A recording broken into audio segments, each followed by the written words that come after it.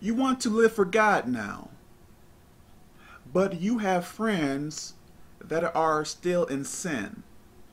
They are still breaking the rules and regulations of the Bible. Now, when you are away from your friends, you tend to do better. But when you are around your friends, you go right back into sin.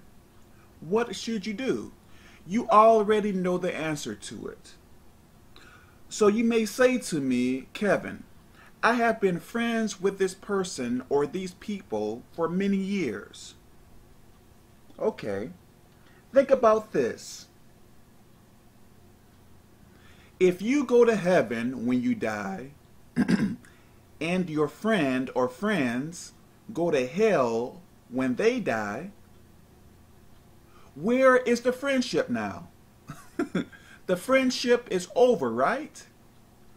So, why potentially be sent to hell because of the influence of your sinful friends? Tell me, please tell me. Who cares how long you have been friends when the issue is the destination of your eternal soul? Think about that. Your soul is at risk, but you are telling me about a superficial friendship, which is not going to matter if you go to heaven and they go to hell, or you go to hell and they go to hell.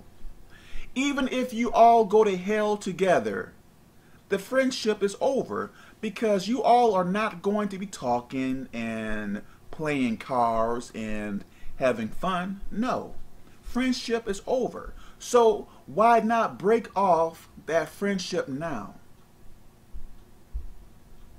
If someone told me, Kevin, break off that friendship or be thrown into hell and and be tormented forever. Hmm.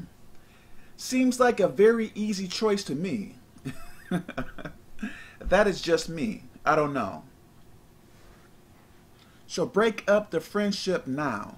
Or try to persuade them to serve God. If they don't, you have to do whatever you have to do. I really hope that makes sense. God bless.